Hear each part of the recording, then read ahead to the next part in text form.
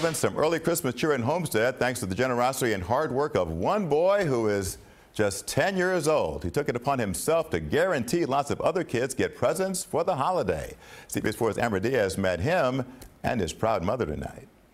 My name is AJ, and I'm here to share all these gifts for you. Are, are you guys ready for gifts? Yeah!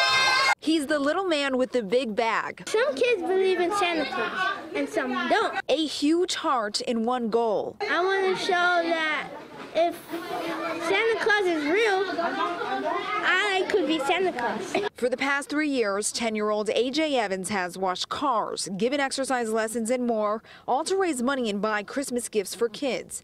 His inspiration, he says, came from his mom. My mom told me that when she waited up on Santa Claus and she never got gifts, and I felt sad that she never got gifts, so I asked her one day to start a toy drive to give to needy kids. If it turned out I laughed at him, so was, I was like, um, oh, you're going to do a toy drive. We don't know where to find those kids that really need it. But little by little, they made connections. They talked to parents, teachers, and anyone who could help.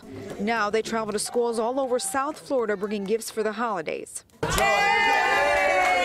In 2016, his mom says he was able to give out 80 gifts. The year after, he doubled it. And by Christmas, they'll have handed out about 400 gifts to kids and families who have very little.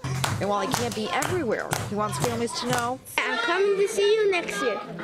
Amber Diaz, CBS 4 News, tonight.